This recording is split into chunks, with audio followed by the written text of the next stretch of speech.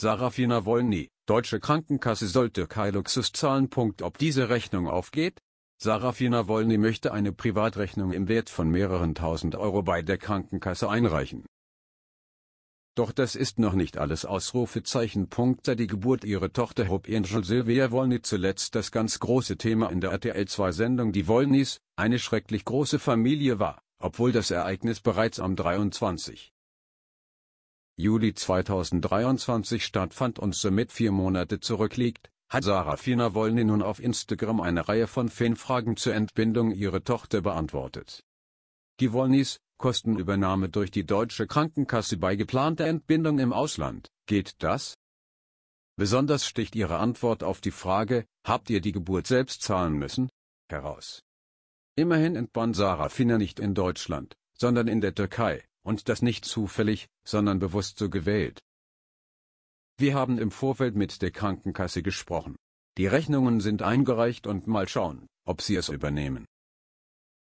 Zugesagt wurde es, erklärt die dreifache Mutter. Für die Geburt, den Krankenhausaufenthalt, Peters Anwesenheit, Medikamente, Nachbehandlung, vier Kontrolltermine ihrer Kaiserschnittwunde bzw.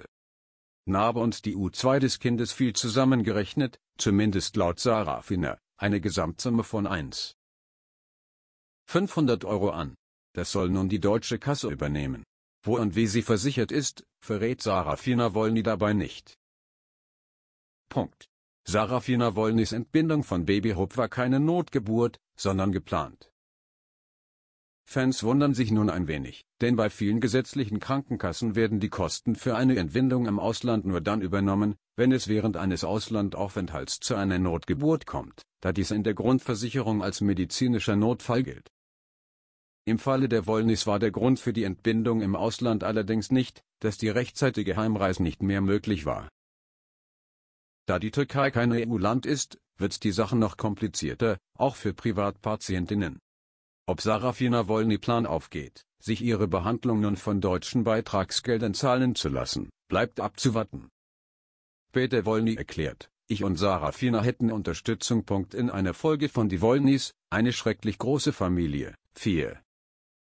Oktober, war Sarafina Wolny nach wie vor schwanger, denn die Dreharbeiten liegen bekanntermaßen bereits einige Monate zurück. Zusammen mit Ehemann Peter Wolny spricht sie in der Episode offen darüber, weshalb sie und ihr Liebster sich für eine Geburt in der Türkei entschieden haben. Ich würde es schon gerne hier machen, weil guck mal, im Sommer sind alle hier in der Türkei. Und wir wären mit den Jungs dann in Deutschland ab Ende Mai, so die 28-Jährige. Weiter erklärt sie, dass wir überhaupt auf den Gedanken gekommen sind, das Baby hier in der Türkei zu bekommen, war einfach, dass das Baby in den Sommerferien zur Welt kommt und die Familie über die Sommerzeit in der Türkei ist.